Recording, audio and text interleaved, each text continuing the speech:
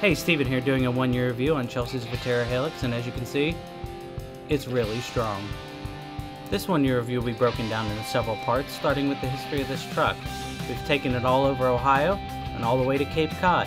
It's been through sand, snow, rocks, mulch, anything we've thrown at it, it keeps going. This is Vaterra's first attempt in the monster truck world. In an oversaturated market, this is kinda hard to do. This truck came with a Dynamite Fuse ESC and motor combo, 70 amp ESC and 3300 kV motor.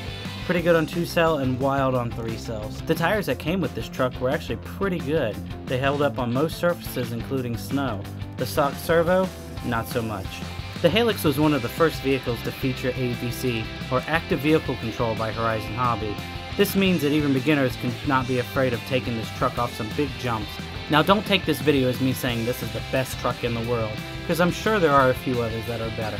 There's been many times that this truck has been in tons of pieces and me screaming at it.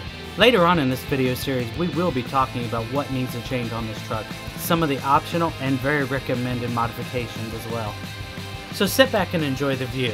Not that stupid TV show. The view, nature, outside, sand, beach, rocks. Go out and enjoy it. And I want to thank each and every one of you personally. For me and Chelsea, thank you very much for making these videos happen. Like and subscribe. And thank you from Steven And Chelsea.